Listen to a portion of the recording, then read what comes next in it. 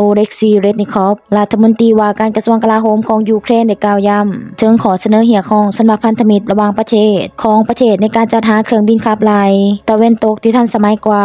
เซน F16 Viper ที่ว่าผลิตในสหรัฐ นอกจากนี้เขายังได้ปฏิเสธเสียงเหียของจากภายในรัฐบาลของยูเครน ที่ได้เหียของให้เจ้าหน้าที่อเมริกันส่งเครื่องบินโจมตีภาคพื้นดิน A10 w a r t h o g ต่อไป ซึ่งวันนี้เป็นข้อมูลของนักบินยูเครนสองคน ในสหรัฐอเมริกา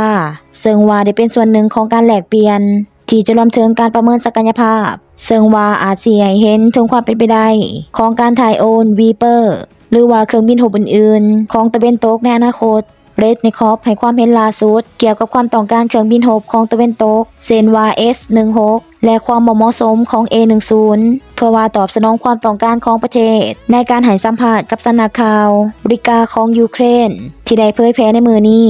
คำบอกของรัฐมนตรีกลาโหมเกี่ยวกับวาทอกซึ่งว่าเป็นการตอบสนองโดยกงต่อความเหี่ยของให้มีการโอนเครื่องบินเหล่านั้น รวมทางเฮลิคอปเตอร์โจมตี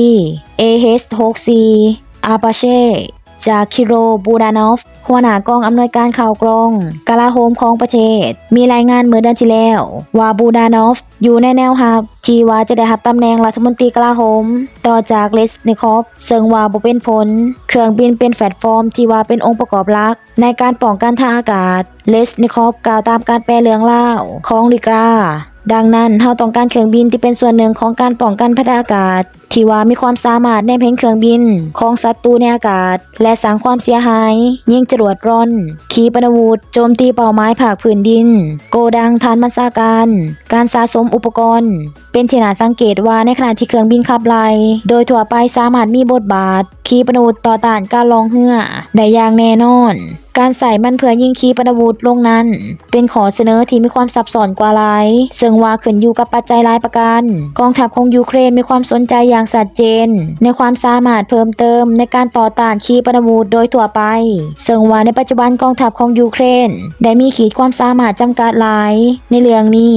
และมีความกังวลอย่างต่อเนื่องเกี่ยวกับการส่งมอบ อาวุธประเภทที่ผลิตโดยอิหร่าน ที่ว่ามีศักยภาพ ที่ทางสาตะเวนตกได้อ้างว่า เพื่อเป็นการสนับสนุนคลังแสงของรัสเซีย สหรัฐอเมริกาและประเทศอื่นๆกำลังเฮ็ดเวียกเพื่อส่งมอบขีปนาวุธพื้นผิวสู่อากาศของแพติออสซึ่งว่าจะช่วยเพิ่มขีดความสามารถ ในการต่อต้านขีปนาวุธของยูเครนโดยกงเครื่องบินขับไล่ A10 แนมบ่เห็นทางไกลและสาลาย มีหลายลำในอเมริกา แต่สู่บ่ได้ เพราะว่าพังสำรุดบ่มีอะไร และเป็นไปบ่ได้ เพื่อหักษามันไว้เลสนิคอฟให้สัมผัสเพิ่มเติมว่าเฮาได้หาลือเกี่ยวกับเครื่องบินเหล่านี้ กับเจ้าหน้าที่อเมริกา เมื่อเดือนมีนาปีที่แล้ว เลสนิคอฟได้กล่าวถึงประเด็น A10 ต่อสาธารณชนเป็นเถื่อทำอิฐโดยกล่าวว่าเขาได้ถามรัฐมนตรีกลาโหมสหรัฐโดยกง กับลอยออสติน ในการให้สัมภาษณ์กับเดอะวอชิงตันโฟสในเมื่อปีที่แล้ว เขากล่าวว่าเขาได้ถิ่มเรื่องนี้อย่างไว้ว่า หลังจากที่ออสตินได้แสดงความกังวล เกี่ยวกับความบอบบางของวาทอก ต่อการป้องกันภัยทางอากาศของรัสเซีย ในขณะที่กองทัพอากาศสหรัฐมี A10 อย่างเป็นทางการ ประมาณ1หอยลำมีรุ่น A และ C ผสมกันอยู่ในข้าง ในจำนวนหลายโดยเฉพาะ AS ซึ่งว่าบินบ่ได้ และได้ถือใส่เป็นแรงสินส่วนสำหรับวาช็อกที่วายังคงประจำการอยู่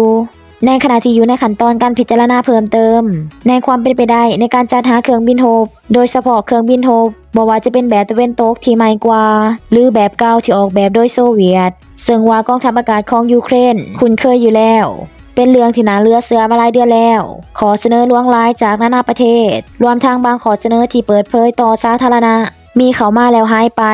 โดยบ่มีความคืบหน้าที่แท้จริง ในการหับเครื่องบินไปยังยูเครน ย่างไรก็ตามมีรายงานมาถึงนักบินของยูเครนสองคน ในสหรัฐอเมริกา และอีก 10 คน ที่จะได้ติดตามพวกเขา อาจเป็นสัญญาณว่าจะมีความคืบหน้าที่แท้จริง เกี่ยวกับเรื่องนี้ NBC เผยแพร่ข่าว ในส่วงท้ายอาทิตย์ที่ผ่านมา เป็นเถื่อทำอีทเกี่ยวกับแผนการ ที่มีรายงานเหล่านี้ เพื่อว่าดำเนินการประเมินทักษะของนักบินเหล่านี้ เพื่อกำหนดระยะเวลาที่พวกเขา อาจเทียนหูวิธีการขับเครื่องบินไอพ่นเซน F16 โปรแกรมนี้เกี่ยวกับการประเมินความสามารถของพวกเขา ในฐานะนักบิน ดังนั้นเขาจึงสามารถแนะนำพวกเขาได้ดีขึ้น เกี่ยวกับวิธีการใส่ความสามารถที่พวกเขามี และเฮาได้มอบให้พวกเขา ซึ่งเป็นคำอ้างของเจ้าหน้าที่ที่บ่ได้ประสงค์เอ่ยนามในขณะบริหารของประธานาธิบดีโจไบเดนได้กล่าวตามรายงานของ NBC ซึ่งว่าเหตุการณ์ได้สร้างความคุ้นเครื่อง โดยพื้นฐานแล้วเป็นการหาลือ ระหว่างบุคลากรของกองทัพอากาศ และการสังเกตการว่ากองทัพอากาศของสหรัฐดำเนินการอย่างใด เจ้าหน้าที่กลาโหมซึ่งว่าบ่ได้ประสงค์เอ่ยนามได้กล่าวเสริมว่าตามรายงานของสื่อกิจกรรมนี้ช่วยให้เฮาสามารถช่วยเหลือ นักบินของยูเครนให้เป็นนักบินที่มีประสิทธิภาพหลายขึ้น และได้แนะนำวิธีการพัฒนา ศักยภาพของตนเองได้ดียิ่งขึ้น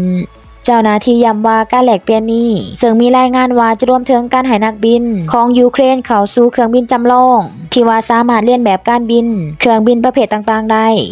ในระหว่างการพิจารณาของรัฐสภา เมื่ออาทิตย์ที่แล้ว เกี่ยวกับการประเมินของแพนตากอน ว่าอาจจะต้องใช้เวลานานเท่าไร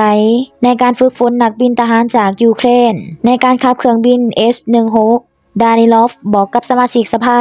นิติบัญญัติในการพิจารณาว่าการประเมิน ในปัจจุบันของแพนตากอน คือการฝึกดังกล่าว โดยจะใส่เวลาประมาณ 18 เดือน ซึ่งว่าเป็นระยะเวลา เท่ากันกับที่ขาดไว้ ว่าอาจจะต้องใส่เวลา ในการถ่ายโอนฟูงไวเปอร์ หรือว่าเครื่องบินที่ขายกัน